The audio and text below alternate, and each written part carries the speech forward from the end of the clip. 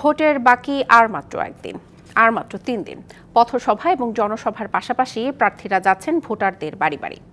সকালে ফরিদপুর তিন আসনের নৌকার প্রার্থী শামীম হককে নিয়ে প্রচারণায় বের হন আওয়ামী লীগের আরেক প্রার্থী সাকিব আল হাসান। প্রধান প্রধান সড়ক, নিউ মার্কেট, চকবাজার, জনতা ব্যাংকের মোড় সহ শহরের বিভিন্ন স্থানে লিফলেট বিতরণ করেন তারা। উন্নয়নের ধারা অব্যাহত রাখতে নৌকাকে ভোট দেওয়ার আহ্বান জানান সাকিব আল হাসান। এদিকে সাতক্ষীরায় মহাজোট মনোনীত প্রার্থী আশরাফুজ্জামান আশুর লাঙ্গল প্রতীকের নির্বাচনী জনসভা অনুষ্ঠিত হয়েছে।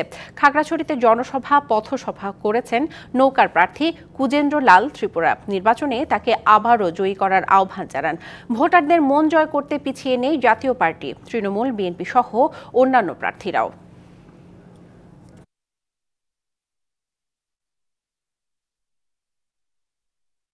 রাস্তাঘাট থেকে সব কিছু উন্নয়ন হয়েছে এখানে। যে কারণে এখানকার জনগণ আওয়ামী লীগ ছাড়া আর কিছুই বোঝে না। আমি চাই আমি তাদের মৌলিক চাহিদাগুলো পূরণ করতে সবসময় কাজ করব। সেই জন্য অ্যাকচুয়ালি আমার রাজনৈতিক মাঠে অংশগ্রহণ নেওয়া। ভালো রকমের সারা পাচ্ছি। মানুষ এখানে পরিবর্তন চাই। সাভার থেকে ঢাকা উনিশ আসনের নির্বাচনী প্রচারণার খবর জানাচ্ছেন সহকর্মী মোহন ইসলাম। কথা বলব তার সাথে। ঢাকা উনিশ আসন তথা সাভার উপজেলা নিয়ে যেই সংসদীয় আসনটি রয়েছে আসনে কিন্তু জমজমাট প্রচারণা চলছে।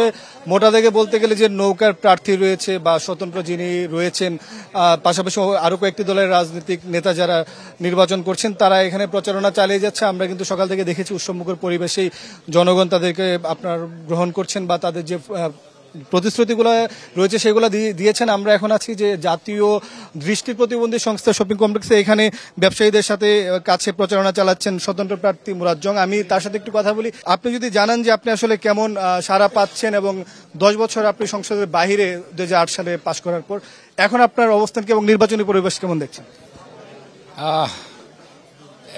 সত্যিকার অর্থে সাভার আশুলিয়াবাসী পরিবর্তন চায়। এবং দশ বছর পরে তার প্রতিফলন তো আপনারা দেখছেন, যে ভালোবাসার জোয়ারে ইগল ভাসছে, এটা আপনারা দেখছেন। সাভার আশুলিয়াবাসী তাদের কাঙ্ক্ষিত তাদের সন্তানকে তারা খুঁজে পেয়েছে, ফেরত পেয়েছে। তারা তাদের মূল্যবান ভোট, তাদের মূল্যবান ভোট তারা ইগল মার্কায় দিয়ে সাত তারিখে তারা ইগল মার্কাকে জয়যুক্ত করবে ইনশাআল্লাহ। আশা কেমন করছেন? ভোট কেন্দ্রে ভোটাররা কেমন যাবে এবং আপনার ফলাফল কেমন পার্থক্য হইতে পারে বা আপনি কি আশা করছেন? আমি মনে করি ভোটাররা যারা আছেন সাভার আশুলিয়াবাসী তারা উদ্গ্রীব হয়ে আছেন। ভোট কেন্দ্রে কখন যাবেন পারলে মনে জন্য সাত তারিখটা যদি কখন আসবে সাত তারিখটা যত তাড়াতাড়ি আসবে তারা যাবে এবং ব্যাপক উৎসাহ উদ্দীপনা নিয়েই যাবে। বিপুলভাবেই তারা ভোট কেন্দ্রে অংশগ্রহণ করবে এবং তাদের ভোটাধিকার ইনশাআল্লাহ ইগল মার্কা দিয়েই তারা ইগল মার্কাকে বিজয়ী করবে। শেষ একটি বিষয় জানব ভোটের পরিবেশ আসলে কেমন? পরিবেশ ভালো? যেখানে মাননীয় প্রধানমন্ত্রী বলেছেন অবাধ, সুষ্ঠু একটা নির্বাচন হবে। অবাধ, সুষ্ঠু নির্বাচন হইতেই হবে। কারণ এটা প্রধানমন্ত্রীর প্রতি শ্রুতবদ্ধ এবং এখানে আমরা যারা আছি, কিছু প্রতিপক্ষ, প্রতিদ্বন্দ্বী, রাজনৈতিক শিষ্টাচার, বহির্ভূত অনেক কাজ করছেন আচরণবিধি অনেকেই লঙ্ঘন করছেন। বাট আমি আমি আমি নিজেকে দাবি করি, আমি জননেত্রী শেখ হাসিনার নির্ভীক একজন সৈনিক। আমি তার বিশ্বস্ত, অনুগত একজন ছোট ভাই।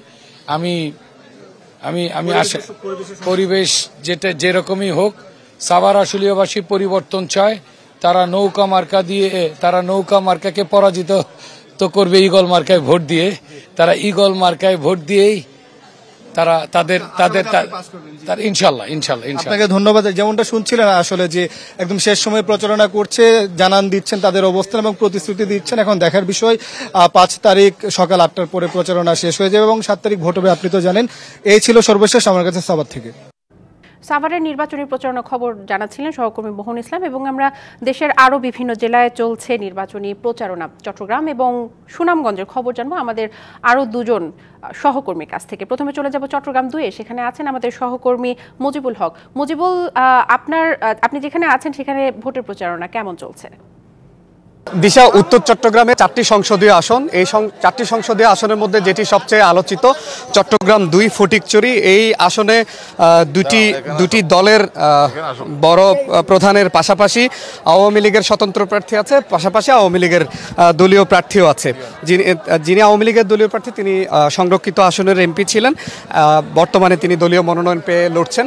আমরা একটু সরাসরি প্রার্থীর সাথে কথা বলতে চাই। আপনার সাথে তো দুইটি দলের প্রধান এখানে নির্বাচন করছেন পাশাপাশি আপনার আপনার দলেরও স্বতন্ত্র প্রার্থী আছে। সেক্ষেত্রে চ্যালেঞ্জ মনে করেন কিনা? মাঠ গোছাচ্ছেন কীভাবে? কেমন সারা পাচ্ছেন মানুষের? ধন্যবাদ। আপনাকে ডিবিসিকে অনেক ধন্যবাদ জানাচ্ছি। সাথে আমাকে যারা দেখতে পাচ্ছেন, শুনতে পাচ্ছেন, সবাইকে অনেক ধন্যবাদ জানাচ্ছি। আমার সাথে হ্যাঁ আমি নির্বাচন বরাবরই একটা চ্যালেঞ্জের ব্যাপার। কম্পিটিশন তো থাকবে চ্যালেঞ্জও থাকবে। এটা কোনো বিষয় না, নির্বাচনে চ্যালেঞ্জ থাকবে, এটা খুব স্বাভাবিক একটা ব্যাপার। আর কোনো দলকে ছোট করে দেখছি না সবাই আমার কম্পিটিটর সবার সাথেই সব দলকে আমি আমার মানে বড় প্রতিদ্বন্দ্বী মনে করে আমি নির্বাচনের মাঠে নেমেছি এবং সেইভাবে আমি প্রস্তুতি নিচ্ছি। আপনি তো সাধারণ মানুষের দুয়ারে দুয়ারে যাচ্ছেন কেমন সারা পাচ্ছেন? জয়ের ব্যাপারে কতটুক আশাবাদী? আমি সাধারণ মানুষের দুয়ারে দুয়ারে যাচ্ছি আলহামদুলিল্লাহ সবাই অনেক সাড়া দিচ্ছে। হ্যাঁ কারণ আমার বাবাও এখান থেকে এমপি ছিলেন এবং জনপ্রিয় একজন মানুষ ছিলেন। তো সেই হিসেবে ওনার সন্তান হিসেবে প্লাস আমি নিজেও অনেক কাজ করেছি সব কিছু মিলিয়ে।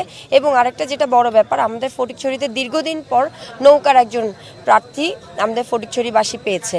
যার কারণে আমাদের ফটিকছড়ি উপজেলা আওয়ামী লীগ সহ, তার অঙ্গ সংগঠন সহ মানে পুরো আমাদের পুরো ফটিকছড়িবাসী আসলে অনেক আনন্দিত, বিশেষ করে নৌকার একজন প্রার্থী পাওয়াতে। এবং সবাই স্বতঃস্ফূর্তভাবে কাজ করছে এই কারণে। আপনাকে ধন্যবাদ। দিশা শুনছিলেন যিনি দিনের দলে আওয়ামী লীগের প্রার্থী আছেন, তিনি বলছেন স্বতন্ত্র প্রার্থী এবং দুই দলের প্রধান এখানে যেহেতু নির্বাচন করছেন, তিনি সেটাকে চ্যালেঞ্জ মনে করছেন না। দলীয় নেতাকর্মীরা তার পক্ষে আছেন, যেহেতু দীর্ঘদিন ধরে এখানে আওয়ামী লীগের কোনো এমপি ছিলেন না। দলীয় না থাকাতে সেক্ষেত্রে অন্তকোন্দল ছিল, সেটা নিরসন করে এবং তিনি নির্বাচিত হবেন, সেটি তিনি প্রত্যাশা ব্যক্ত করছেন। তো এই ছিল আমার কাছে চট্টগ্রাম দুই ফটিকচুরি আসনে যে নির্বাচনী প্রচারণার সবশেষ খবরাখবর। চট্টগ্রাম দুইয়ের খবর জানাচ্ছিলেন সহকর্মী মুজিবুল ইসলাম, আপনাকে ধন্যবাদ। মুজিবুল হক, আপনাকে ধন্যবাদ। এরপর আমরা চলে যাব সুনামগঞ্জ দুই আসরে সেখানে আছেন আমাদের সহকর্মী সাইদুর রহমান আসাদ আসাদ, ভোটের তো আর মাত্র বাকি, মাত্র তিন দিন। কেমন জমে উঠেছে নির্বাচনী প্রচারণা? সুনামগঞ্জ দুই আসরে। বলছিলেন দ্বাদশ জাতীয় সংসদ নির্বাচনকে ঘিরে সুনামগঞ্জের পাঁচটি আসনই উৎসবমুখর পরিবেশ বিরাজ করছে। আমরা এই মুহূর্তে আছি সুনামগঞ্জের দুই আসনে। এই, এইখানে একটি জনসভায় আমরা উপস্থিত আছি। এখানে আমরা কথা বলব নৌকার প্রার্থী চৌধুরী আবদুল্লাহ আল মাহমুদের সঙ্গে। আমরা যদি আপনার কাছে একটু জানতে চাই, কেমন ভোটের পরিবেশ দেখছেন? ভোটারদের নির্বাচন কেন্দ্রিক ভোট দিতে আপনারা কতটুকু টানতে পারছেন? দেখতেছেন আজকের পরিবেশ। আসলে দিরাইশাল্লায় ভোট উৎসবমুখর পরিবেশে বিরাজ করতেছে ভোটের মাঠে। আশা করি ভোটার উপস্থিতি হবে, অনেক হবে। মানুষ ভোট কেন্দ্রে গিয়েই ভোট দিবে, এই উৎসাহ উদ্দীপনাটা আছে দিরাইশাল্লায়। আপনার প্রতিপক্ষ একজন শক্তিশালী প্রার্থী রয়েছেন জয়াসন গুপ্তা কোনো অভিযোগ আছে কিনা আপনাদের? শুনেন, অভিযোগ উনিও দিতেছে, আমরাও দিতেছি। আসলে এটা হলো প্রতিপক্ষতা। প্রতিপক্ষতা অভিযোগ আমরা দেই। এই অভিযোগগুলা, এই যে পোস্টার ছিঁড়া পক্ষপাতিত্ব, কারণ উনি বর্তমানে এমপি। ওনার এমপির প্রভাব খাটিয়ে কিছু আমাদেরকে সমস্যা প্রচার, প্রচারণার সমস্যা করতেছে, আমাদের লোকজনকে হুমকি তুকবি দিচ্ছে। তারপরেও মানুষ কিন্তু এগুলাতে কান ইয়ে করে না মানুষ? সাম্প্রত শেষ প্রশ্ন সাম্প্রদায়িক কোনো উস্কানি আছে কিনা আপনার আসনে? এটা ছিল প্রথম কিন্তু এখন আস্তে আস্তে এটা শেষ হয়ে যেতেছে শেষ হয়ে যেতেছে প্রথমে এই যে ওনার কিছু লোক এটা দিরাই আওয়ামী লীগের বর্তমানে যে সভাপতি সেক্রেটারি সাম্প্রদায়িকতা এবং আঞ্চলিকতার একটা টান তুলেছিল কিন্তু জনগণ এটা মানে নাই। ধন্যবাদ আপনাকে। দিশা, আপনি শুনছিলেন আসলে দ্বাদশ জাতীয় সংসদ নির্বাচনকে ঘিরে সুনামগঞ্জের পাঁচটি আসনই আসলে একই রকম পরিস্থিতি রয়েছে, উৎসবমুখর পরিবেশ রয়েছে, প্রার্থীরা ভোটারদের কাছে যাচ্ছেন। আশা করা যাচ্ছে আগামী সাত জানুয়ারি নির্বাচন একটি সুন্দর এবং উৎসবমুখর ভোটের মধ্য দিয়েই আসলে জনগণ তার পছন্দের প্রার্থীকে বেছে নেবে। দিশা। নিশ্চয়ই আসাদ, প্রার্থীদের মতো আমাদেরও তাই মত। নিশ্চয়ই সুন্দর একটি ভোট হবে। আসছে তিন দিন পর। ধন্যবাদ আপনাকে।